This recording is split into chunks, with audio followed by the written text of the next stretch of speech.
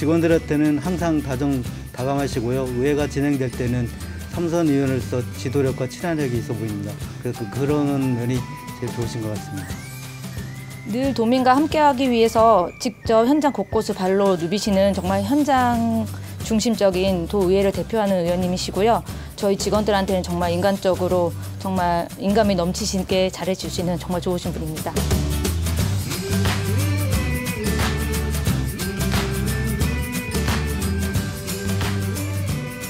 안녕하십니까. 불교 공유수 힐링대담 해철입니다. 오늘은 충청북도의회 황규철 의원님 모시고 말씀 나누겠습니다. 반갑습니다. 예, 반갑습니다. 자, 먼저 도민과 불교 공유수 시청자들에게 인사 말씀 해 주시기 바랍니다. 네. 예, 존경하는 164만 도민 여러분, 그리고 불교 공유수 시청자 여러분, 대단히 반갑습니다. 충청북도의회 황규철 의원입니다. 저는 옥천이 지역구인 삼선 의원으로 9대에는 산업경제위원회 부위원장, 예산결산특별위원회 부위원장, 10대에는 산업경제위원장, 11대에는 전반기 부의장, 후반기 더불어민주당 원내대표를 역임하고 지금은 건설환경소방위원회에서 열심히 의정활동하고 있습니다. 앞으로도 많은 격려와 성원을 부탁드립니다. 네, 고맙습니다. 자, 도의회는 어떤 일을 하는지 궁금합니다. 네네. 자세하게 설명해 주시죠. 네, 알겠습니다. 아, 말씀 그대로 우리 충청북도에는 민의회 전당입니다. 저희 충청북도에는 32명의 의원이 정책복지위원회, 행정문화위원회, 산업경제위원회, 건설환경소방위원회, 교육위원회 이 다섯 개 위원회에서 의정 활동을 하고 있고 저희 지방의원들은 지방의원의 꽃인 첫 번째는 우리 도민들이 필요로 하는 조례의 제정과 개정 그리고 또 필요 없는 조례는 폐지하는 그러한 기능도 하고 있고요. 두 번째는 우리 충청북도 도지사와 우리 충청북도 교육청의 교육감이 한 해에 필요한 예산을 의회에 제출하면은 그 예산이 꼭 필요한지 저희들이 심의해서 또 의결하는 역할을 하고 다 쓴다면은 저희들이 그 예산을 적재적소에 잘 쓰였는지 결산으로 검사하는 역할도 하고 있습니다. 그리고 세 번째는 어, 한해 동안 우리 도청과 우리 교육청의 행정이 잘 돼 있는지 11월 달에 행정 사무감사를 통해 잘된 점은 칭찬을 또 해주고요. 잘못된 점이 있으면은 개선하라고 저희들이 그 지시를 내릴 수가 있는 그런 역할 등 많은 역할을 하고 있습니다. 네, 뭐 의외로 아주 굉장히 큰 중요한 네네. 일을 많이 하시는군요. 네네네. 네. 자, 도의원을 하기 전에 직업과 사회활동 경력 듣고 싶은데요. 네네. 아, 저는 이제 도의원을 하기 전에 21년 동안 우리 전 국민의 건강 지킴이 국민건강보험공단에서 21년 동안 근무를 했고요. 그리고 사회활동으로는 옥천군 태권도협회장, 옥천군 체육회 상임부회장, 장애인 체육회 부회장, 옥천군 생활체육회장 등 체육단체와 삼양초등학교 운영위원장, 동이초등학교 운영위원장, 옥천군 장학회 이사, 재단법인 영동 옥천 청포도 장학회 감사 등 교육단체에서도 활동을 했고요. 그리고 옥천군 새마을의 이사, 옥천군 바르게 살기 협의회 부회장, 그리고 어, 옥천군 장애인 후원회 부회장, 그리고 뉴옥천 라이온스 클럽 회장 등 봉사 단체 등 많은 단체에서 사회활동을 했습니다. 네. 자, 그러면 사회활동을 많이 하시다가 정치에 입문하게 된 특별한 동기가 있으실 것 같은데요. 그 아마 제가 이제 정치에 입문하게 된 동기는 아마 아버님의 영향을 저도 모르게 이 받은 것 같습니다. 아, 저희 아버님이 1981년도에 대통령을 간선제로 선출할 당시에 대통령 선거인단을 하셨고요. 그리고 또 사회활동으로 뉴옥천 라이온스 클럽으로 회원으로 활동하시다가 어, 돌아가셨습니다. 그 돌아가셨을 때 우리 뉴옥천 라이온스 클럽 회원님들께서 라이온스 장으로 장례식을 치러주셔갖고 저는 큰 은혜를 입은 적이 있습니다. 그래서 저도 사회활동하면서 어, 뉴옥천 라이온스 클럽 회원이 되어서 결국은 또 라이온스 클럽 회장도 역임할 정도로 아마 아버님 영향을 받지 않았나 이런 생각을 하고 있습니다. 네. 자, 11년 동안 의정 활동을 하면서 조례를 또 많이 만드신 거로 알고 있습니다. 기억에 남는 대표적인 조례가 있다면 이 기회에 한번 설명해 주시죠. 네. 어떻게 보면은 한 12년간 지금 무정 활동이기 때문에 아, 많은 조례를 뭐 제정도 하고 또 개정도 했는데 제가 그래도 대표적으로 생각나는 조례 두세 가지를 좀 말씀드리면은 어, 제가 전반기에는 우리 이제 옥천군이 농업 지역이다 보니까 산업경제위원회에서 의정 활동했는데 이게 제가 보니까 우리 도도 중앙정부에 균형 발전을 늘 요구를 하는데 이게 꼭 국토의 균형 발전만 있는 게 아니라 제가 삼선을 하다 보니까 이 교육의 균형 발전이 필요하다 이런 생각이 들어서 제가 삼선위원이 됐을 때 삼선위원이 됐든 11대부터는 전반기에 교육위원으로 제가 의정 활동을 했습니다. 그래서 내 두 가지만큼은 꼭 내가 조례를 대표 발의 해야 되겠다 생각했던 게 첫 번째는 그 충청북도 교육청 교육균형발전 지원 조례안입니다. 그 이 조례안은 아, 말 그대로 당해년도에 일반에게 세입에 계상된 지방세와 세외 수입으로 그 자치단체 지방 공무원의 인건비를 충당하지 못하는 그러한 자치단체는 어, 자치단체에서 교육 경비를 보조하지 못하게끔 아. 대통령령으로 규정하고 있습니다. 그리고 어떻게 보면은 실제적으로 낙후된 지역인데도 불구하고 우리 교육지원청에 우리 교육 경비를 지원할 수 없는 이런 이제 어처구니 없는 일이 발생했는데 이게 전국적으로 이러한 자치단체가 약 70개 정도 있는 걸로 알고 있습니다. 근데 저희 충청북도에는 우리 옥천, 영동, 보은 그리고 괴산정평 교육지원청 그리고 단양이 여기에 해당됩니다. 어떻게 보면 열악한데도 불구하고 네. 실제적으로 자치단체에서는 교육 병기를 못 차, 못 받고 있기 때문에 더욱더 열악한 형편이 되는 거죠. 그래서 제가 그 11대 의회 교육위원회로 활동하면서 이 교육의 균형 발전을 위해서 이 조례는 꼭 필요하다.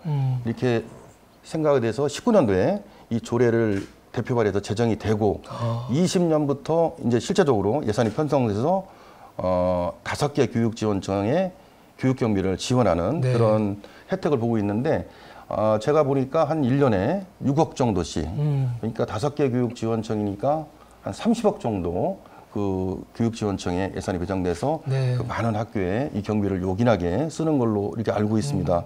그러니까 이제 이걸 지급한 지가 이제 두 해 됐겠네요. 네. 20년도 그리고 21년도. 음.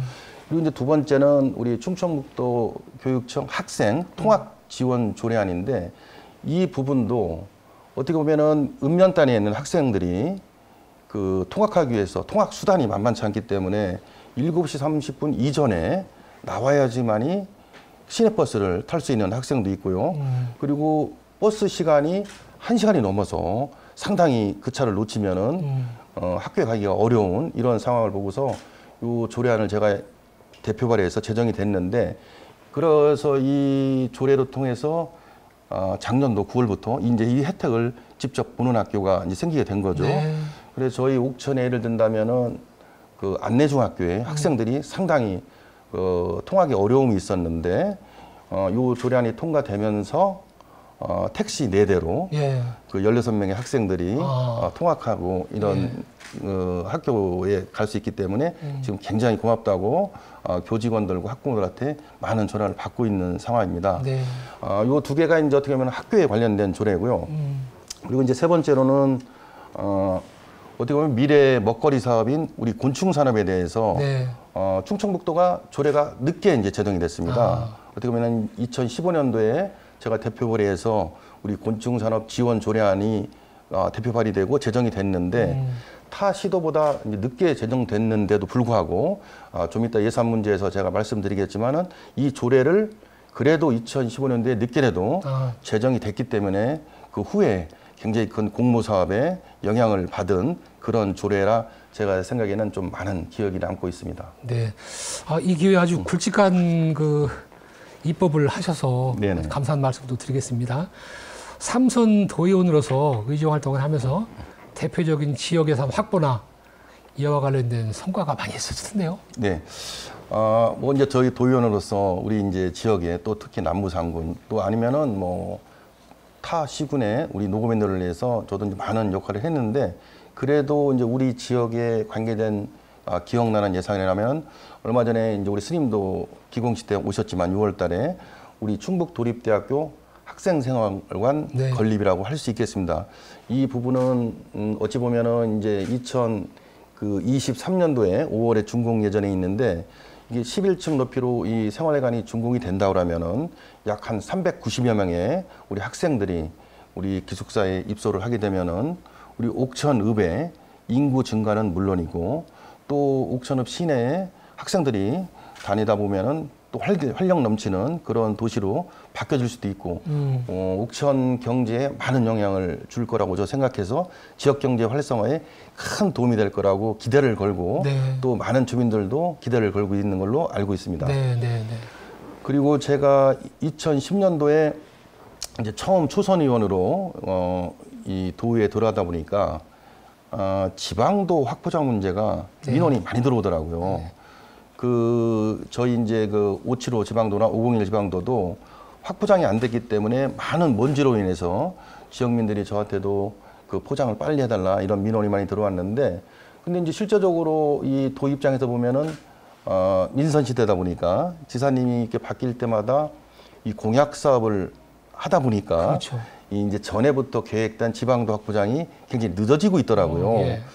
어, 특히 이제 양저리에서 지수간 그575 지방도 같은 경우에는 기존 도로를 2차선으로 확보장 하려다 보니까 음. 그쪽에 그 산에 임야에 지질이 안 좋아서 어. 확보장이 어려웠습니다. 음. 그러다 보니까 다리를 두 개를 그 건설을 해서 음. 저강 건너 쪽으로 또 이렇게 지방도를 확보장하다 보니까 더 늦어졌는데 그래도 이게 계획이 되어 있으면은 이거를 빨리 완공을 해야지 주민들한테 어. 음. 그 편리하게 네. 그, 그 거- 도로를 다닐 수가 있는데 이 문제가 해결이 안 돼서 제가 그 예결위원을 하면서도 계속 지속적으로 음. 균형 건설을 요구해서 어, 2016년도 12월 달에 드디어, 드디어 네. 어, 준공이 됐습니다. 예. 그리고 또 하나는 이제 501 지방도인데 이 부분은 이제 우리 읍내에 있는 매화리에서 동이까지 가는 이제 지방도입니다. 이 부분도 그 굉장히 그 도로가 굉장히 굽어져 있어갖고 선형을 잡아갖고 확포장 공사를 해야지만이 그 교통사고도 줄일 수 있는 이러한 도로인데 이 부분도 지속적으로 요구를 해서 그 이제 아마 금년도까지 그 준공 예정인데 이게 좀 보상 문제로 늦어져서 아마 내년도에는 이 매화리에서 동이 면사무소까지는 아, 지방도 확보장이 4차선으로 아마 될 것 같은데 이제 문제는 그 처음 그 계획된 그 동이 매화 구간 확보장은 면사무소가 끊칩니다. 아. 근데 이제 면사무소에서 다시 농공단지까지 이어져야지만이 그 국도로 연결될 수가 있는데 그 부분이 그 계획에 안 들어가 있어서 2018년도 선거 때 우리 지사님하고 같이 공약을 걸었습니다. 아. 209도 완성을 해야지만이 음. 아, 진정한 지방도 501 확보장이 된다. 이제 이런 말씀을 해서 공약을 걸었는데 다행히도 지사님도 공약을 걸고 또 200m 약 90억 정도의 예산이 소요됩니다. 근데 이 예산을 편성을 해주셔갖고 지금 공사를 진행 중이고 이것도 아마 제가 볼 때는 내년도 정도면은 그 준공이 되지 않을까 이런 생각이 들어서 어, 지방도 확보장 공사에 대해서 나름대로 좀 역할을 했지 않았나 생각해서 저 나름대로는 좀 뿌듯하고요. 네. 또 하나는 이제 저희 옥천 영동 부분이 농업 지역 아니겠습니까, 스님? 그러다 보니까 저희 이제 96년도부터 저희 보은 옥천 영도만에 해당하는 그 농업 예산이 과학영농 특화 사업이라는 예산입니다. 네. 쉽게 얘기하면 이제 우리 농민들한테 보조금 네. 주는 보조금 예산인데 이것이 일년에 100억 정도 됩니다. 자부담 포함해서. 음. 그럼 한 개 군에 약 30억에서 35억씩 예산이 편성돼서 그 농업인들이 필요한 농기기라든가 여러 가지 이제 그 농자재를 구입할 수 있는 그런 예산인데 농민들한테는 가장 중요하고 또 어떻게 보면 가장 고마워하는 예산인데 이게 이제 일몰제로 어 2013년도에 이제 이 사업이 없어지게 돼 있습니다. 아. 그래서 어 이건 안 된다 해서 그 당시에 저희 보은옥천 영동 도의원들이 지사님과 면담해서 어 저희 보은옥천 영도는 규제 지역이고 또 농업 지역인데 거기에 유일한 그 농업 보조금 예산이 일몰제로 없어지면 이게 되겠냐. 네. 그래서 지사님한테 강력히 건의를 했고 그 결과 지사님도 그 부분에 대해 저희하고 같은 생각이라고 말씀을 해주시면서 14년도부터 2023년까지 예산도 늘렸습니다. 이제. 네. 늘려갖고 100억 정도 되는 예산을 150억으로 늘려갖고 10년간 음. 이 사업이 계속 이어지도록 이렇게 이제 사업을 저희들이 이제 완성이 됐는데 문제는 어, 내후년이면 2023년 아니겠습니까? 네. 그럼 그때 돼서 또 이 사업이 일몰제로 없어지게 돼 있, 위기에 있습니다 아, 지금. 예. 이런 부분은 저희 그 옥천군과 음. 영동군과 또 보은군의 그 농업 담당 부서에서 이 부분을 같이 협력을 해갖고 이 사업이 2023년도에 일몰제로 끝나지 않고 네. 계속 이어져서 농민들한테 굉장히 큰 도움을 줄 수 있는 음. 그런 예산으로 이어지기를 저는 이제 기대하고 있습니다. 네, 네. 자, 삼선 도의원으로 의정 활동 중 집행부에 이제 건의를 해서 도민 전체에게 영향을 주었거나 긍정적 평가를 받은 예산 및 이로 인해 수상한 경력이 있으면 말씀해 주시죠. 네. 첫 번째는 이제 이제 여성 농업인들한테 제가 이제 칭찬도 많이 받은 예산인데 그 예산이 이제 여성 농업인 행복 바우처 사업입니다. 네. 이 예산이 이제 우리 지사님께서 2012년도에 초선 도지사 때죠. 음. 이걸 이제 전국에 처음으로 이제 시행을 했는데 어, 여성 농업인들을 좀 처우 개선을 해줘야 되겠다 음. 이런 생각을 해서 어, 자부담 2만 원 포함해서 10만 원의 예산을 들여서 여성 농업인들한테 음. 어, 20세 이상 만 65세 미만 여성 농업인에게 10만 원짜리 이제 카드를 이제 아. 지급을 했습니다. 근데 처음 할 때라 이게 이제 그 당시에는 사용처를 한 13개 정도로 좀 막아놨어요. 예. 그러니까 이제 처음 시행하다 보니까 뭐 예를 들어서 이제 화장품도 그때는 예. 안 됐고 아. 또 이제 미용실도 안 됐고 그래갖고 첫 해를 하다 보니까 이제 음. 많은 불만도 있었지만 그래도 전국에서 최초로 이제 2012년도에 이 사업을 시작했는데 어 2011년도에 이 사업을 시작하고 많은 여성 농민들한테 굉장히 호응이 좋았습니다. 네. 그래서 이걸 좀 늘려가자. 어, 그래서 이제 저도 아까 이제 그 전반부에 저도 말씀드렸듯이 제가 이제 산업경제위원회 한 8년 있었기 때문에 11년, 13년부터 또 이 사업에 대해서 계속 금액도 증액을 요구했고 음. 이 금액이 10만 원 갖고는 되겠냐. 우리가 좀 한 번에 바로 1년에 20만 원 갈 수 없지만은 목표를 20만 원으로 정하고 예, 예. 나이도 실제적으로 시골에 가다 보면은 여성 농업인이 뭐 80대 되는 여성 농업인도 농사를 직접 지금 경작을 하고 있거든요. 그럼요. 그렇다고 해서 80세까지는 할 수 없지만은 음. 75세까지는 돼야 되지 않냐. 그리고 요거를 계속해서 아, 금년도 현재 20만 원 아니지만은 18만 원. 네. 금액은 18만 원, 나이는 73세 이제 예. 이하로 많이 이제 올라갔죠. 예, 65세에서 예, 올라갔는데 아직 그 저도 그렇고 또 어떻게 보면 이게 지사님도 공약입니다. 이게 음. 어, 여성 농업인을 75세까지 나이도 늘리고 음. 금액도 20만 원으로 하자 이제 이런 공약했는데 이제 내년 한 해 남았습니다. 음. 그러니까 내년도 2022년도 본 예산에 아, 저도 이제 건의를 좀 할 생각인데 음. 지사님도 아, 이 불교 공유수를 시청하고 계시면은 이 부분은 꼭좀 공약을 지켜줬으면 좋겠다 네. 이런 말씀을 드리고 지금은 이제 뭐 거의 사용처를 네.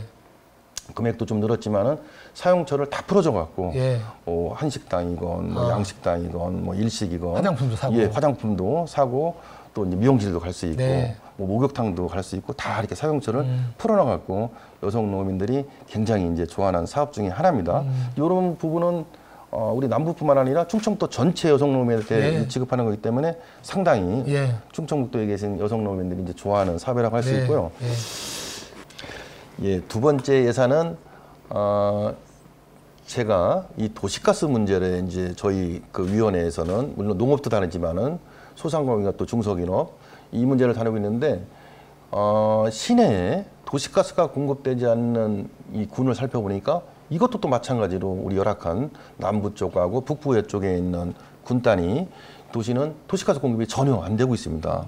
아, 0%에 가까웠기 때문에 시는 뭐 7, 80% 같이 공급을 하고 있는데 그리고 이 문제가 제가 봐도 심각하기 때문에 제가 2013년도에 어, 충청북도 도시가스 공급시설 설치비 지원 조례안을 대표 발의해서 제정을 했는데 이 스림제 조- 조례라는 게 제정하는 것도 중요하지만은 제정된 조례에서 예산이 붙어줘야지 저는 이제 진정한 그 조례라고 생각하는데 2014년도에 이 예산을 세우려고 참 지사님도 설득도 해보고 지사 집행부도 만나고 했는데 2014년도에는 예산 확보에 실패를 했습니다.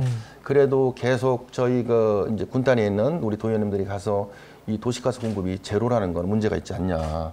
시하고 너무 격차가 크고 또 어떻게 보면 균형 발전에도 역할하는 것이기 때문에 어, 예산을 확보를 할 필요가 있다라고 이제 지사님이나 집행부 설득을 해서 드디어 이제 이 예산이 음, 아, 2015년도에 이 본 예산 예산이 씁니다. 그래서 어, 우리 도비하고 우리 군비하고 매칭을 해서 15년도에 처음 이제 이 도시가 설치를 해- 시작을 합니다.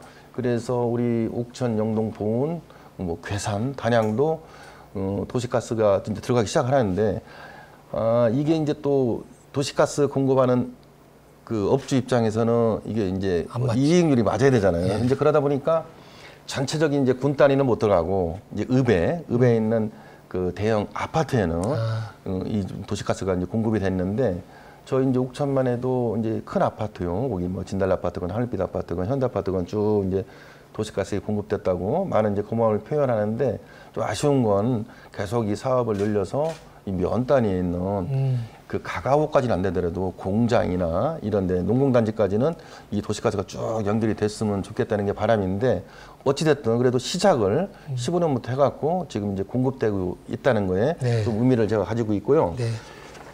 그리고 아까 이제 우리 제가 그 늦게 이제 우리가 충청북도가 이 어떻게 보면 미래 먹거리 삶의 블루오션인 곤충 산업에 늦게 뛰어들었습니다. 예. 조례도 15년도에 만들어졌기 때문에 충청북도가 곤충 산업에 대해서 어떻게 보면 출발도 늦었고 또 어떻게 관심이 좀 적었던 것 같아요. 예.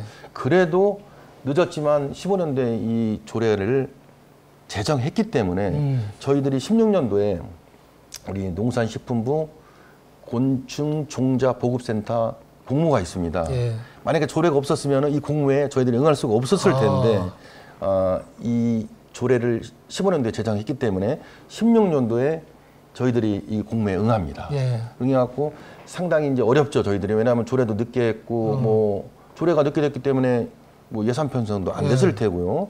또 그러다 보니까 곤충 농가도 저희 충청북도가 이제 많지가 않은 형편인데도 불구하고 어, 저희들이 이 공모를 했는데 이제 지사님하고 저하고 또 이제 많은 노력도 했지만은 우리 이제 국회의원님들도 그렇고 노력을 해서 2017년도 5월 달에 우리 곤충 종자 보급센터가 우리 충북으로 확정이 됩니다. 아, 큰 쾌거죠. 그러네. 그래 이거를 시작으로 해서 우리 충북도 이제 어떻게 보면 곤충 산업의 메카가 될 예. 수 있다 이런 자신감도 얻고 어 이게 지금 저희들이 그 현재는 이제 지금 준공이 됐습니다. 예. 준공이 돼갖고 아마 이제 금년도부터 이게 지금 우량 곤충을 음. 곤충 농가한테 공급을 하고 있는데 음. 그만큼 그럼 저희들 늦게 시작했지만은 이 곤충 종자 보급 센터를 건립을 해서 예. 거기서 사육하는 그 우량 종자를 음. 농가들한테 보급할 수 있어서 상당히 어떻게 보면 늦게 시작했지만은 네. 저희들이 앞으로는 그 희망이 보인다 음. 이런 말씀을 드리고 싶습니다.